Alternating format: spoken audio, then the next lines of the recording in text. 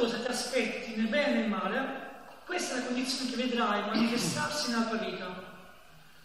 Qualsiasi cosa pensi, avrai ragione, poiché vedrai manifestarti tue credenze.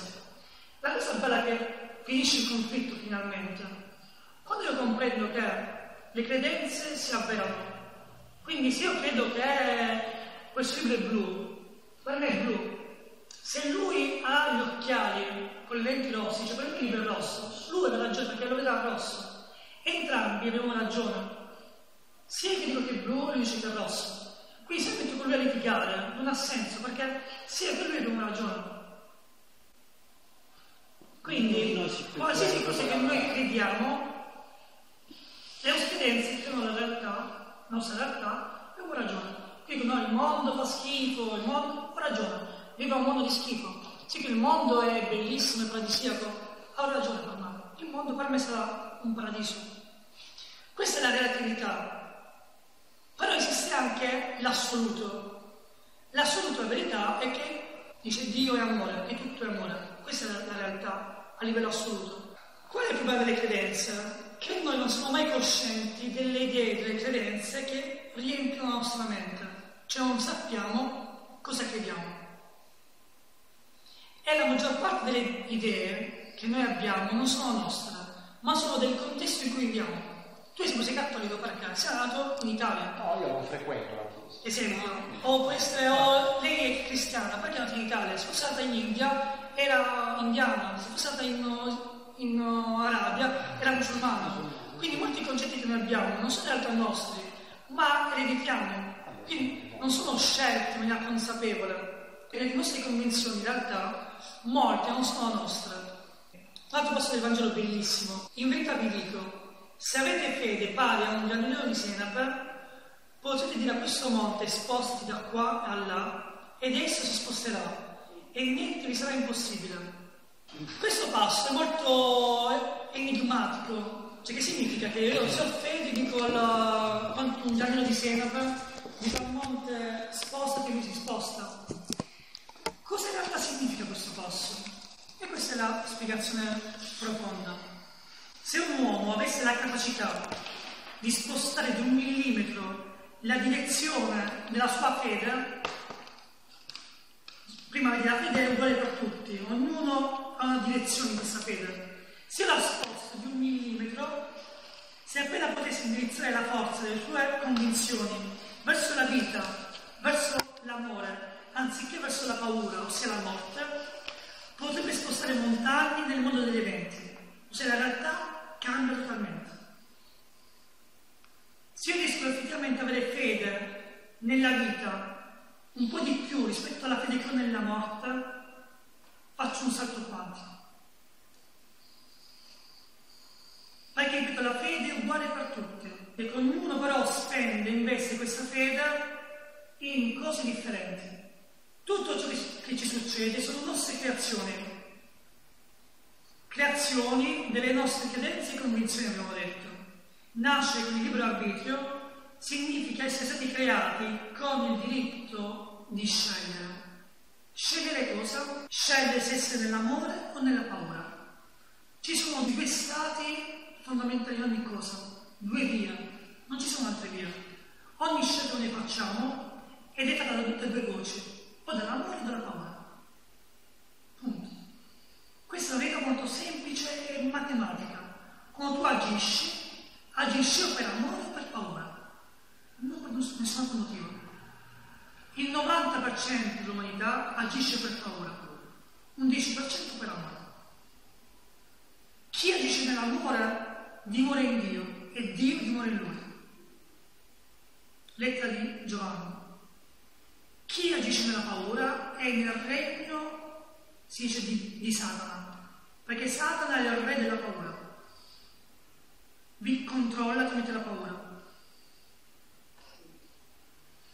L'umanità soffre perché ha più fede nel Dio capriccioso, vendicativo, più di cattiva volontà, che punisce. Quante volte quel Dio che punisce, che ti castiga, ti si Geova, sempre, la fine del mondo ti castiga. Quello è Satana. Il Dio di. Cioè, Satana è l'illusione, è la paura. Piuttosto che fede è un Dio d'amore che ama senza condizioni. Chi è Dio? Dio è amore incondizionato. Dio ti ama così come sei e non vuole nulla da te. Dio non vuole nulla. L'esistenza non vuole nulla. Perché? Ti ha dato il suo potere, ti ha dato il libero arbitrio. Quindi ognuno, diciamo, uh, piuttosto che fede un Dio d'amore che ama e protegge, ognuno riceve in conformità alla sua immagine di Dio. L'umanità attualmente ha più fede in Satana che in Dio, ha più fede nella morte che nell'amore. Cos'è l'amore? L'amore, il termine stesso, spiega cos'è l'amore. Amore viene dal greco amors, dal latino amors. A è alfa privativo, significa senza. Mors mortis è morte senza morte, vita eterna. L'amore è vita eterna. Chi nell'amore è nell'immortalità. Quanti di voi crede che noi siamo immortali? La maggior, la maggior parte crede che siamo mortali, in effetti noi moriamo. Noi moriamo perché, non perché dobbiamo morire, ma perché crediamo di morire, quindi moriamo. La fede nella morte è più forte che nella fede dell'amore. In futuro, quando l'umanità evolverà, praticamente entrerà l'acqua di vita, ma poi comprenderà di essere immortale e quindi non morirà più.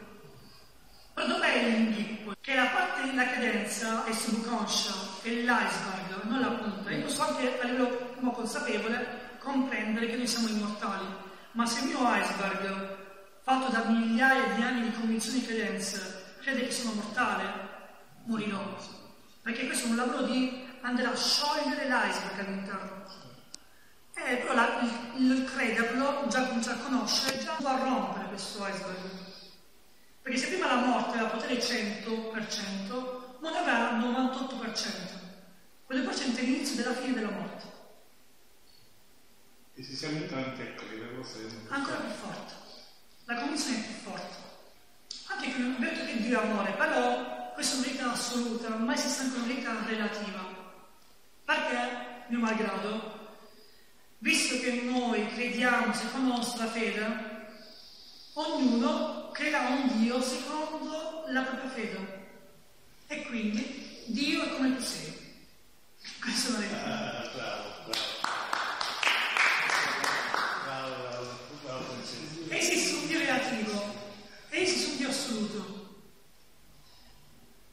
C'è un brano della Bibbia, sempre di Matteo 6, che dice: Se voi infatti perdonerete agli uomini le loro colpe, il Padre vostro celeste perdonerà anche a voi.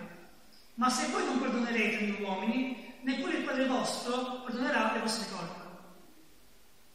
Più voi diventate belli, più avete un Dio bello e misericordioso. Più voi siete punitivi e crudeli, più avete un Dio punitivo e crudele. Perfetto. Quindi io, se sono nell'amore, avrò un Dio d'amore, quindi mi sentirò protetto da Dio. Se io sono molto nel giudizio, nella lamentela, nella paura, nella crudeltà, avrò un Dio uguale a come sarò io. E quindi tale figlio, tale padre. Tale figlio, tale padre. Contrario. Tale figlio, tale padre. Così come sarò io, sarà, sarà Dio per me. Se voi perdonerete, Dio vi perdonerà. Se voi non perdonerete, Dio non vi perdonerà. Perché vi opera nel relativo.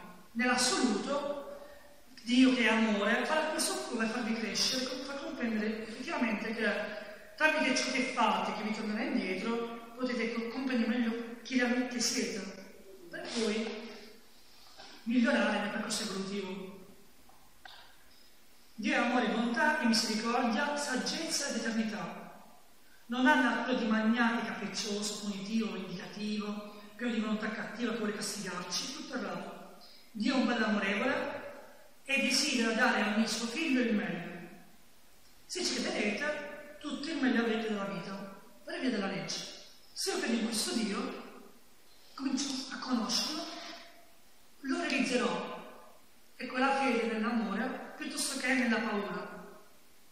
Quindi Dio, una visione più elevata di Dio, Dio è amore. E Dio ha dato delle leggi, le sette leggi immutabili, che agiranno nella vita di ogni essere umano e regolano l'universo come funziona. Se le conosco, posso utilizzarle a mio vantaggio, se non le conosco, agiranno ugualmente. In questo senso conoscenza e potere. Perché solo sapere la ciaga di carne, se lascio un libro e va giù per terra, o tocco la presa e c'è la corrente, la tocco mi, brucio. Se so che c'è corrente non tocco, mi brucio. La conoscenza ha il potere di non farmi del male. Dio è amore e chi dimora nell'amore dimora in Dio e Dio è in Lui. Nell'amore non c'è paura. Quindi tutto che siamo gelosi, diciamo, sono geloso perché ti amo troppo. È un controsenso. Se c'è amore non c'è gelosia. Se io amo lascio libero. Quindi tutto che c'è paura non c'è amore. Quindi con questo concetto qua nessuno più potrà fregare. Anche voi sarete messi con voi stessi. Quindi accorgete quando siete nella verità o quando siete nella falsità o nella paura, nella menzogna. La paura ha a che fare con la punizione. Ecco, ricordate che c'è la punizione, c'è anche la paura. Se io abbatto la punizione, abbatto anche la paura. Dio ha creato delle leggi immutabili. Noi dobbiamo libero arbitrio di seguire o meno queste leggi. Il risveglio è avere occhi per vedere. La realtà è perfetta. Se io percepisco una realtà non perfetta, significa non che la realtà non sia perfetta, ma io non ho per vedere la perfezione della realtà. Per questo Gesù dava la messa Ah, perché? Questo è o risuscita i morti di coscienza. I morti, tutti noi siamo morti viventi, addormentati. Gesù risus- risuscitava. Io sono la vita, la verità, la vita. Dava la vita tramite quella conoscenza, quelle parabole. Perché la parabola arriva all'anima